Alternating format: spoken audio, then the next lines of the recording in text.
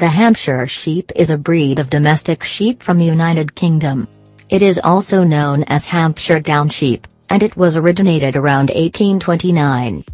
It was developed from a cross of South Downs with the Old Hampshire breed. The Old Hampshire breeds include the Wiltshire Horn and the Berkshire Knot. A farmer in Hampshire named John Twynham crossed his then Hampshire flock with Cotswold rams around 1829. The Hampshire sheep are large-sized animals with strong muscling and deep, blocky bodies. Their look is like the oxen of the sheep world. They are mainly white in coloration. They have dark face with moderately long and slightly dropped ears. Their legs are also usually dark, with some wool present below the knees. Both rams and ewes are usually polled, that means they have no horns. Average live body weight of the fully grown Hampshire ewes is around 91 kilograms. And the mature rams on average weight around 120 kilograms. This is a meat sheep breed.